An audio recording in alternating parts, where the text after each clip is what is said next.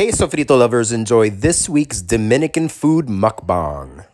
Hey, Sofrito lovers, this is Ben Ramos bringing you another mukbang from the Northwest Bronx. It's the Bronx, the home of hip hop and salsa. I am bringing you Comida Dominicana, Dominican food. Yes, mi gente, I am bringing you some Dominican deliciousness. I live in a very Dominican neighborhood in the Bronx.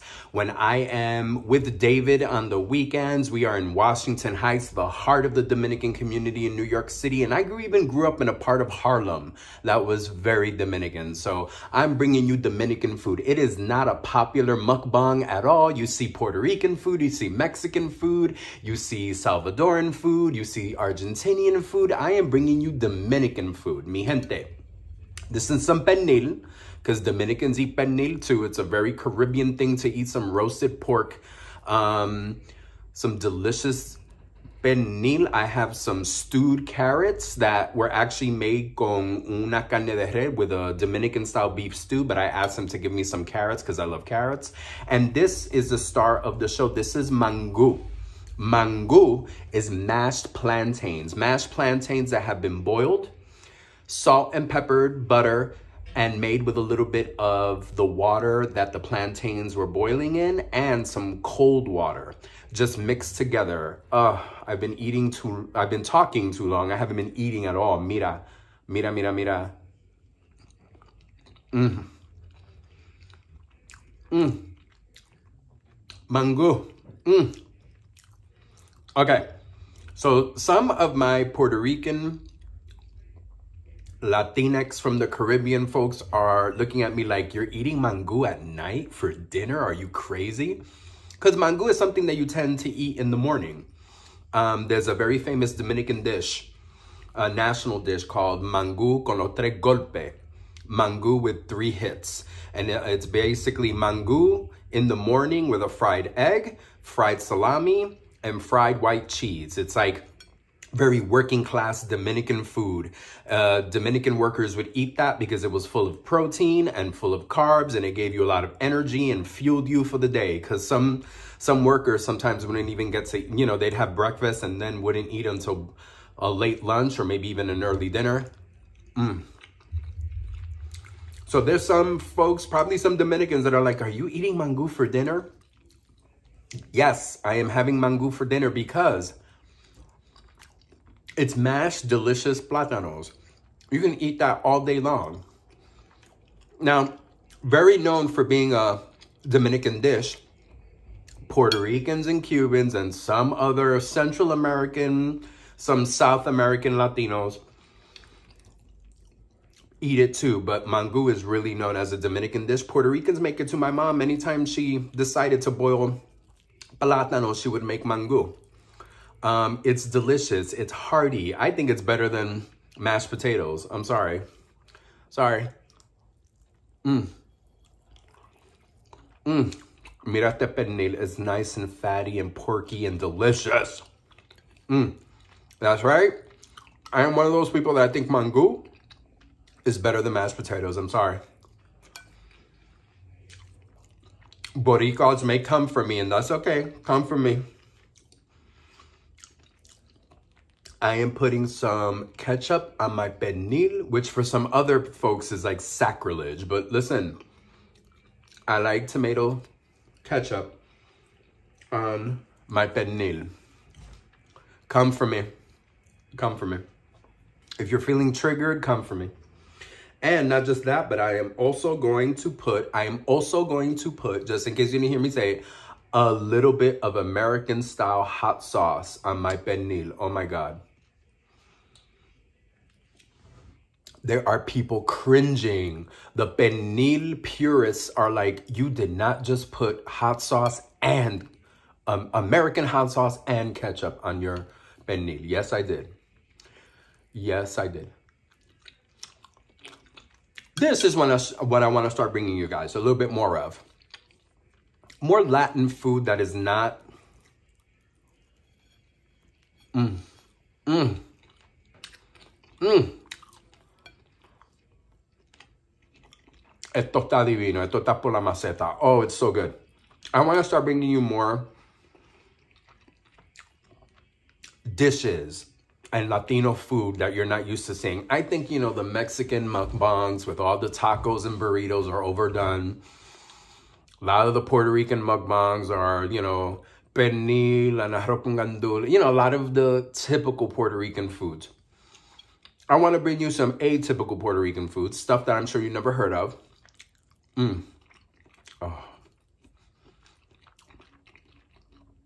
These carrots were made in a beef stew, in a Dominican style carne guisada, beef stew. And I saw them floating there and I was like, can you give me some? And the lady was like, no problem. Oh, these carrots are amazing. Mmm. Soft, sweet. They have a lot of the flavor, the beef flavoring. Mmm. I love stewed carrots. Oh. And I think it complements everything here so well. I'm going to be bringing you more of these types of mukbangs. More Latino, Latinx, all of that good stuff, whatever identifying name, food, outside of the usual. Like Dominican food, man. Not a lot of Dominican mukbangs out there. I want to bring you some more of this stuff. Some more Puerto Rican food that you've never heard of. Some, some stuff outside of the usual. Mmm. Those are the channel plans. Maybe for more for 2020. Uh, I have a lot of energy today. It was actually a stressful day at work, yet a good day at work as well. You know, kids are frustrating and annoying and tiring and inspirational and re revitalizing and a lot of other great and wonderful stuff and stuff in between. but um, today was a day that started off very stressful and ended really fun. God bless it. Mm. And I was like, let me make a Dominican mukbang because I was surrounded by Dominicans all day. Ah, mangú. Mm. So good so good, so starchy and full of that wonderful plantain flavor and nice and soft and creamy. I've said it already four or five times and I will say it another million times. I prefer mangú over mashed potatoes any day. Some people think I'm crazy. Uh, stewed. Mmm.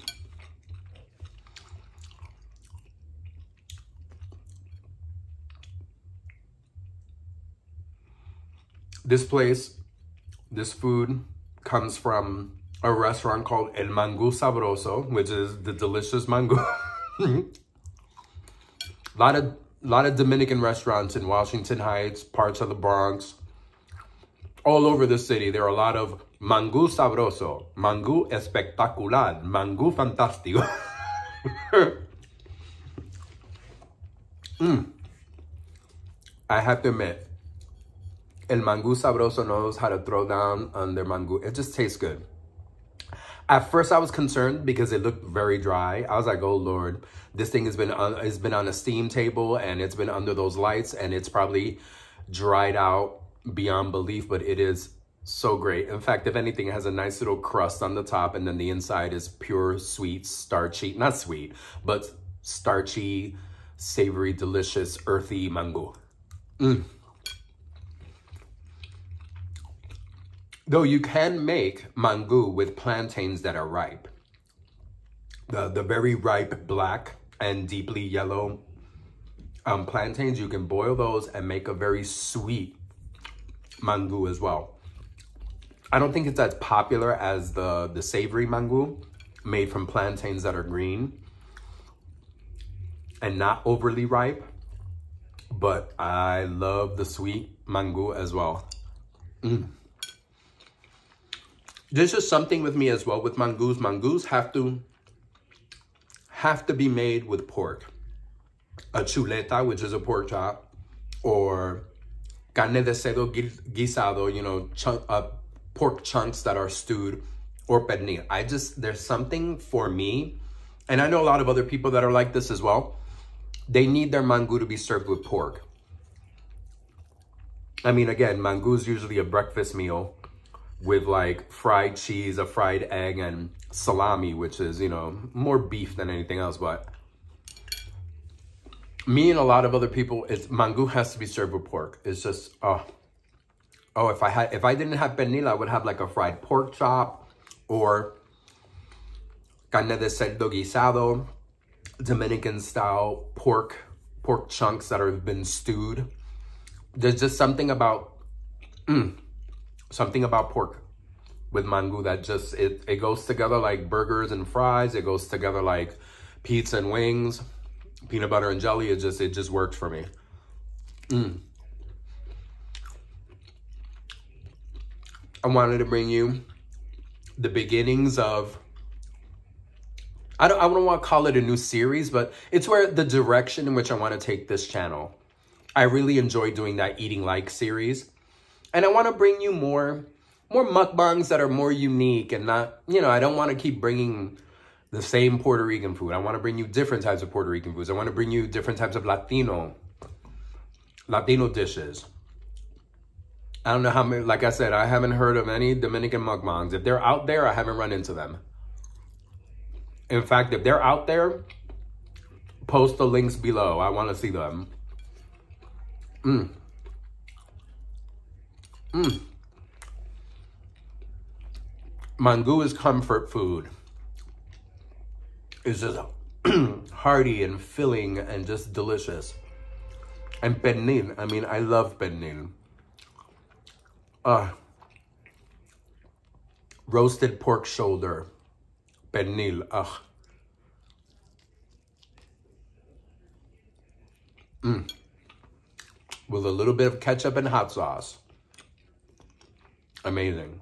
Oh. Like I said, work was a little crazy today, but it was also pretty good. Gearing up for the holidays. We're going to be doing a winter festival after school. It's going to be cool. It's going to be fun.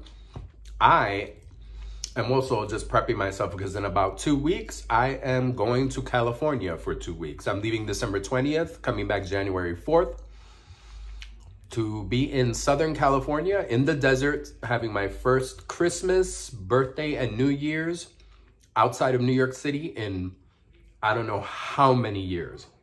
I don't know how many decades. I've always been Christmas, my birthday, which is um, December 28th, and on January 1st, always been in New York City. Even when I lived outside of the city in DC for about two years in college, I was here in New York for all of those holidays. It's been very, very, very few times that I haven't been. Mm. So we're going to be in Southern California visiting the in-laws. Getting ready to spend some amazing time with my my other mom and my other dad. I love David's family. They're amazing.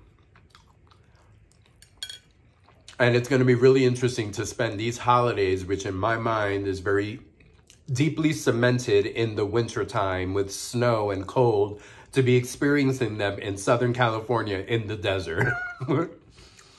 David says it's kind of trippy because, you know, so much of our media and our imagery of Christmas is very snow and winter based. And when you live in the desert, yeah, Santa Claus goes down your chimney, chimney, uh, chimney, chimney. Oh my God, I I'm, can't talk and eat at the same time. Going down your chimney, chimney in uh, uh, sandals and Bermuda shorts and all that good stuff. Mmm. Mmm. So good. Mmm. So getting ready for the holidays. Just um excited for the two solid weeks off gonna be restful, gonna be fun. I'm gonna see how many videos I can actually make in California. Those two weeks may be a bit of a vacation even from the channel. I don't know, guys. I gotta let you guys know that. But um, definitely Mm. Oh, wow. Wait a minute. Inspiration. There's this wonderful Salvadoran Central American restaurant that my in-laws took me to one time. Oh my God. Maybe I'll make a, a Salvadoran mukbang. Mm. That place had amazing food. Ooh, maybe I will produce a video or two over the break. Oh. Okay. Yeah. Now the wheels are turning. mm. A pupusa and tamal Salvadoran mukbang. Oh my God. So, sofrito lovers, if you like this video, comment, share, smash the like button. If you're new to the channel, bienvenidos, welcome. If you're not new to the channel and you still haven't subscribed, subscribe. Become a part of the Sofrito Lovers family online. Follow me on my blog, Sofrito in my. Follow me on all the social media. Sofrito in my soul, Facebook, Twitter, and Instagram. Como siempre, go out there, go taste for yourself. If you've never had mangú, go and have some mangú. You'll love it, especially for, for breakfast. But hey, you can have it for lunch or dinner too. They, ha they have it available. Go out there, go have some culinary adventures, go taste for yourself. Como siempre, mucho amor.